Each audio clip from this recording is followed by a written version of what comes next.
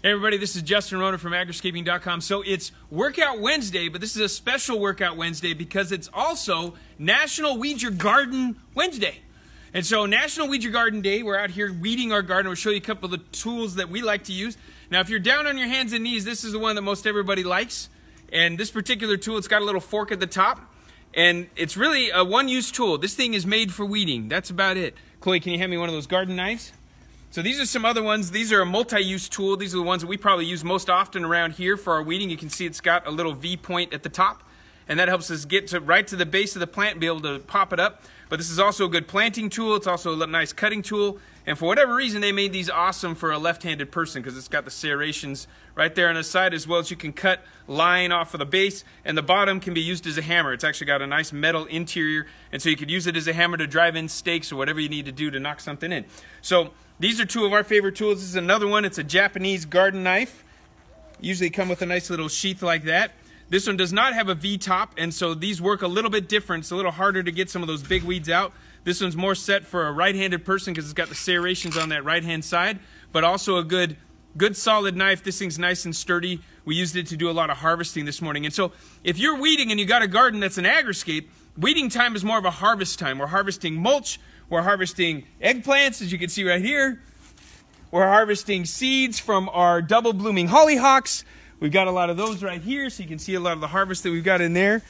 So even though it's Weed It Wednesday or Workout Wednesday, however we want to look at it, hopefully your garden's so productive that all of your weeding efforts become harvesting efforts. And we hope that's the case. Having a good compost pile makes this all possible. Even if you got nasty weeds or even grasses, if you got a high temperature compost pile, this will actually break this stuff down and it won't grow back. So grass, if you got a problem with grass, as most of us do, if you got Bermuda, you've got a problem because it'll work its way into pretty much any place in the garden, especially if you have some of those dinosaur varieties that have stolons the size of my pinky, or at least the size of a pencil, and they go down 18 inches. So you got to be careful with that kind of stuff. But around here too, if getting down on your hands and knees isn't something you can do right now due to injury or whatever, it's a good idea to have another great tool on hand. Sometimes we call it a hula hoe. Do you remember what the hula hoe looks like, Chloe?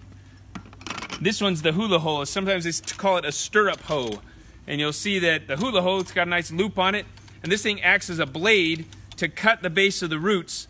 And so you get right underneath your mulch layer and it'll help cut those roots right out of there. So if I've got a garden area like this over here, I've got a lot of good mulch so I can actually cut underneath any of my, my weeds that might be in there and I can literally just leave the plant in leave the plant in its place. So you can see this is a good weed, good example of one right here. This particular variety see if I loosen it up enough, we can get some of it to come out. There we go. So this actually has a nut. So this is a nut sedge or nut grass, and a lot of people hate this stuff. But uh, this stuff can also, these little nuts, we rinse these off. We can actually grind them down, and you can make a wonderful horchata. So this is some of the first horchata was made using this stuff. And these little nuts here, though, you got to get the nuts out. If you want to get the actual weed out, this nut sedge you have to get these little nuts out. So it's best to soften the soil around the plant and then pull it up ever so gently so it doesn't break any of those, those uh, connection points to those nuts because if you get the nuts out, then you get the problem out. If you don't get the nuts out, you're still going to have an issue. It's going to keep sprouting back up and you're going to have a major issue in your garden, especially in a nice soft bed like these ones are. Now, these things tend to grow very well in a low calcium environment. And so if you actually add calcium, more calcium into your soil, using eggshells, breaking those down, grinding those up as small as you can make them is best. That'll help inhibit these guys from even growing. And if you do have them, digging them out is pretty much the best route. I wouldn't recommend any of those crazy chemicals or suffocating them with just a lot of mulch. Again, a lot of calcium helps inhibit their growth. And then if you want to end up breaking these things out and making some nice horchata, well, then you have that as an option. And maybe you too can look at weeds as just a misunderstood plant, and maybe there is a harvestable value for you and your wonderful little weed if you can find a use for it. So most weeds are just plants in the wrong place at the wrong time. And if that's the case for you, today's the day. It's Weed It Wednesday. And don't just stop at weeding. If you want to get a good workout, you can see our other guys over here putting the picks together, working some new soil, adding some more nutrient-rich soil into the, into the mix. It is a hot summer month.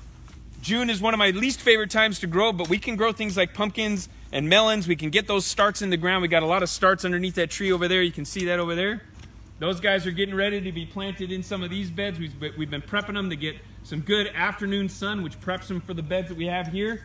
And we're excited to get those things in the ground. So hopefully you've enjoyed another Workout Wednesday with agriscaping.com. And it's also Weed It, National Weed It Wednesday or National Weed Your Garden Day. And here's uh, one of our other fun little weeders. She likes to go and pull out sticks and other things as well. That's Sadie. We love that little girl. Anyway, hopefully you enjoyed today's little bit. We'll see you next time.